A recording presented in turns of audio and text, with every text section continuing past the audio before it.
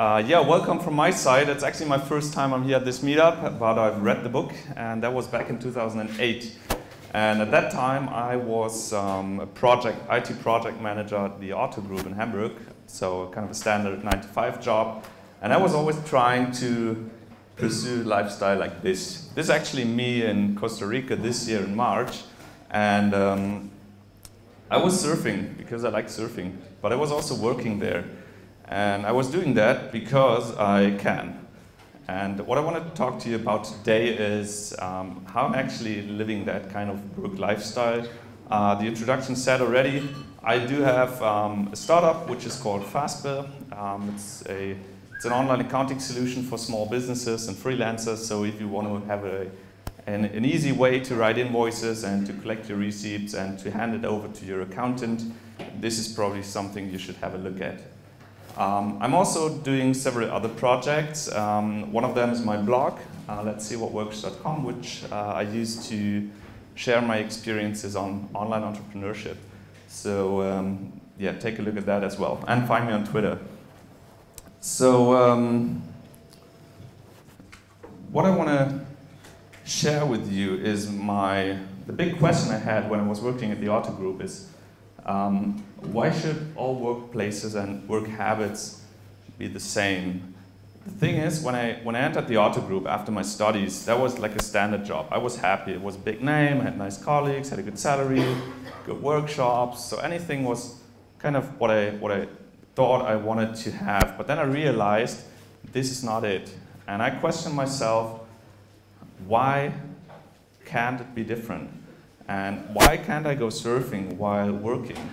And um, what I realized at that day, at that moment, was that uh, work today, I mean today in 2014, but today also in 2007, and today in 2011, and probably even before, is different. It's different than what you might know from working in big companies.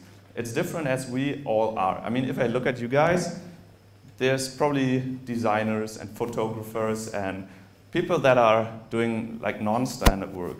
It's not only about people that are employed in, big companies, but it's also about people that, that work in a way on a topic that they love, that they want to do. So it's kind of a passion business. And um, I also had a wish that I wanted to change something. Something. It was not about the product. I mean, I was not born to create an accounting software. I actually hate accounting. So yeah, I mean, that is, that is something that nobody wants to do. But that was the point. I realized that everybody hates it. So I decided to co-found a business with my partner Rene. And um, that was back in 2007. 2011 was the year where, we, where I quit my job at Otto and this is what we got today. So Fastbill today has around 20 employees. We got three offices in Germany. We got one office in Brazil. We're starting there soon. Uh, I, I myself got two businesses, so two companies, and we're working on several projects, um, like Let's See What Works and Happy Coffee and others. And um, I'm actually currently founding a new startup. So somebody was saying uh, if, I, if I'm looking for a co-founder, get to me. I'm looking for a CEO. And um, the most important uh, information on this slide is probably uh, we, we did all this without VC. So no external money, no business angels, no venture capital. We just did it our way, and this is what came out until today, three and a half years later. And um, the side information is just, just a fun notice, um, because travel is a good emotion to you know, transport the message I want to do. In the last 12 months, I've traveled through a lot of countries, and um, I went surfing in Costa Rica, Bali, Dublin. Dublin was not for surfing. Um, but I was, I was traveling a lot, and I was working in all these places, and uh, again, I did it because I, I can do it. And what I want to share with you today is how I actually do this. How, what is, what is the, the prerequisite, and what is the requirements um, that I think everybody can or has to fulfill um, in order to manage employees, 25 employees. So this is my case. I mean, this probably applies to, to uh, a business that you might have. Probably it's only one employee you have. Probably it's, I don't know, no employee, but there's some core messages I want to share with you, and that it made it happen for me to work and serve from any place on earth, um, even if I have 25 employees. So this is five points I want to point out today. The first one is um, this is my team. It's part of my team, and um, the first important point is that I learned is uh, if you want to um, if you want to get work away from yourself, you have to empower everyone that is around you. So that means, um, for example, um, if you want if you want somebody to decide on on something that brings your business forward, you have to empower him to make this decision. Everybody knows, or I know, that if the most, the most reason why things are not going forward is um, because you want to decide yourself. And that makes yourself the bottleneck all the time. And it's important to get rid of this situation. So empower people to decide, to make things, to bring things forward.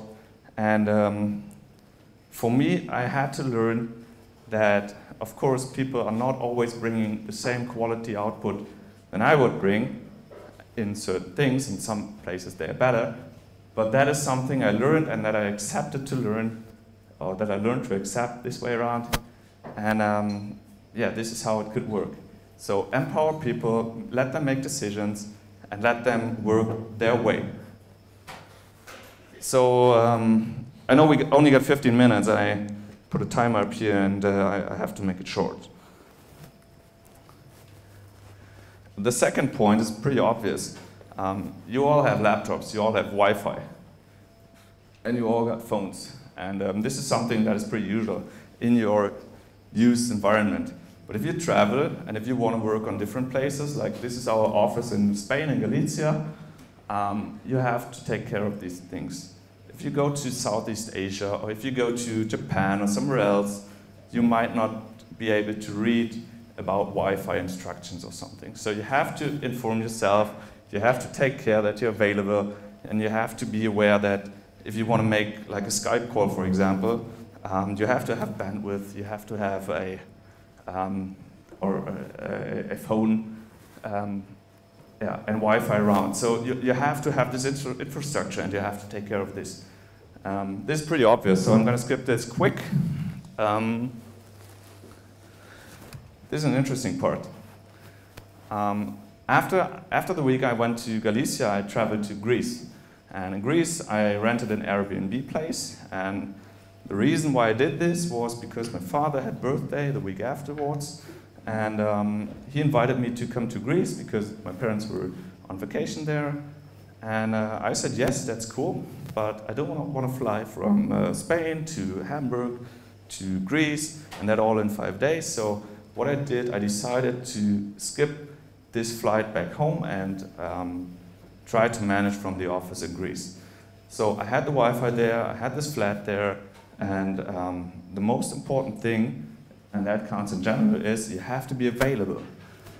Uh, usually when I step out in the morning from my home, I uh, sit in the car and I, I start the first calls with my, with my team that is in Frankfurt. I said we had three offices, and there's some of my team members that are uh, that are not in, in Hamburg. So I'm going to call them in the morning. And I didn't change that behavior when I went uh, when I was working in Greece. So try to be available as usual. Try to be on the phone. Try to be um, on Skype. Try to be in email, and uh, just be there. In my in my situation, it's uh, pretty funny because um, I'm not available at all. So it, it's, not, it's not hard for me to be differently available.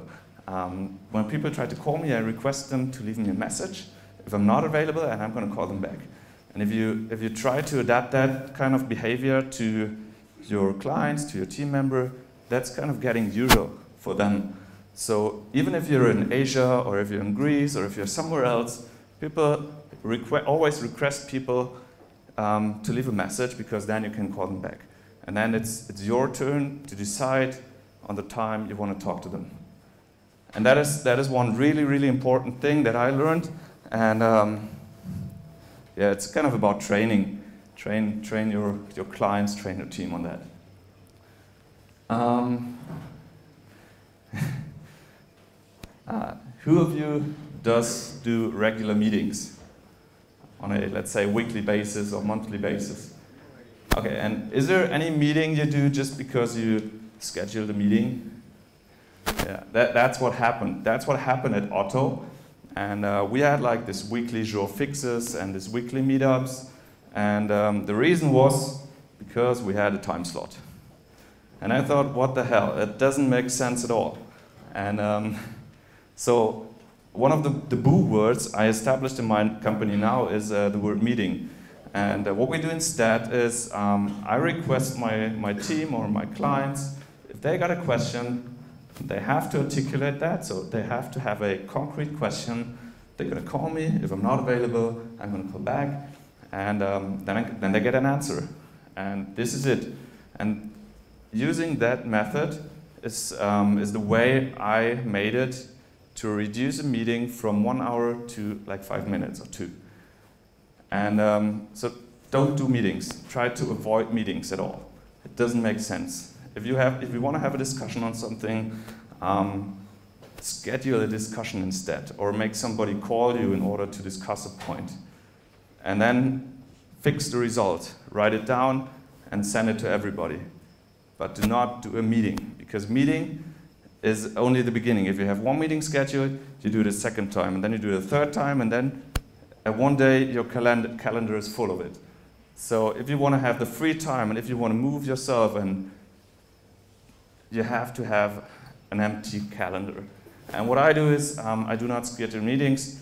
Uh, instead, I request my team and everybody who wants to have a meeting with me to formulate a question, call me, I call back, and then he gets an answer. It's as easy as that. Um, I know it's kind of tough if you want to establish this kind of behavior with your clients, but um, my tip at this point is make a service out of it. If you tell your client, if you have a question, call me, I'll call you back. It sounds better than let's have a meeting in two weeks. So it's kind of even a better service if you offer that, that kind of communication way than always scheduling a boring meeting. Yeah. I only got one or two slides left. Um, okay, here's the truth. This is not a nine to five job. And that does not mean that I'm working 80 hours or so. I'm actually working, let's say, 35 to 40 hours a week, which is okay. It's a good job. It's a standard time. It's not a four hour work week, but if I reduce that 40 hours to all the projects I'm doing, it might be four hours on every project. So, um, oops, there's a typo in there. Um, you have to take into account that um, your daily schedule could be different than what you, what, you, what you learned in your previous life. Let me give you an example on that. When I went to Galicia, to Spain, to go surfing, uh, we had to, we were dependent on the swell.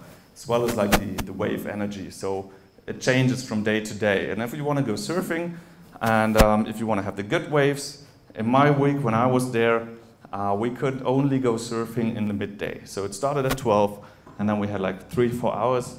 And um, so I had to schedule my day around this. Um, the usual day was like, like the following. I stood up at 8 in the morning.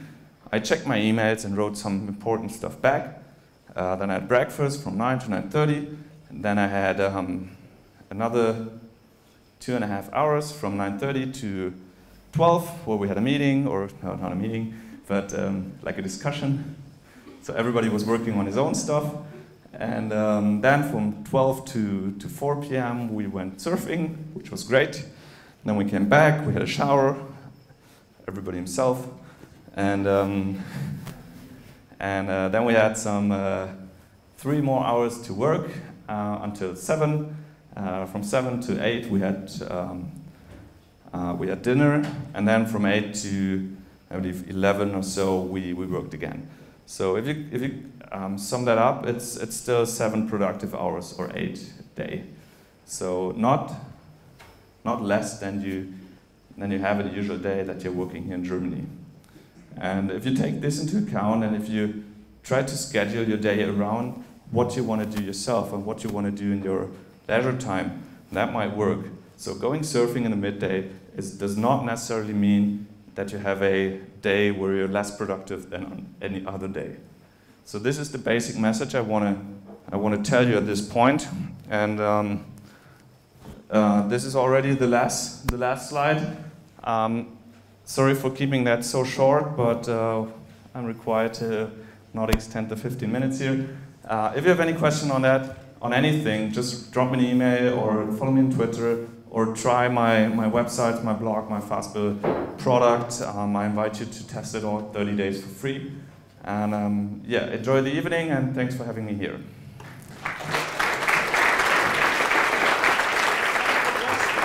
Ah, time for questions. Any question?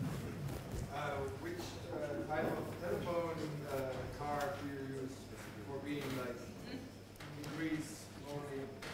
Yeah, I, I got a standard telecom 90 euros a month contract.